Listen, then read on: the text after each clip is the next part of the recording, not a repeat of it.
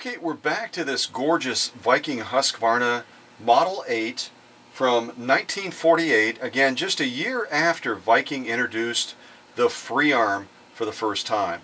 And what we're going to sew off on now is obviously a very heavy grade piece of cowhide leather.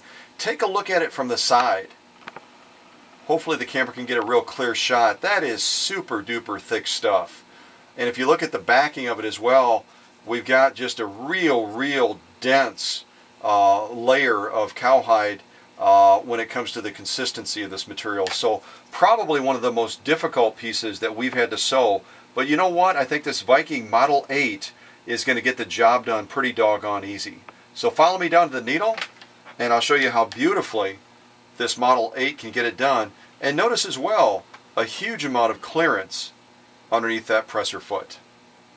All right, here we go. A very heavy grade layer of cowhide leather.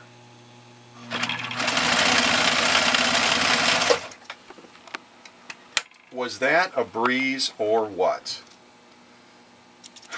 I kind of started out slow and then decided I'm going to have fun with that power, that 1.5 amp motor. And take a look at the result. An absolutely gorgeous stitch. I'll turn it like this as well so you can see it vertically. Just a beautiful, beautiful top stitch. If we turn it over, we've got an equally gorgeous lock-in stitch. Let me go ahead and turn it sideways as well and kind of pull it back a little bit so you can see it. And again, look at the thickness of what it is that we just sewed through. And this Viking ran through it like it was a light, light textile.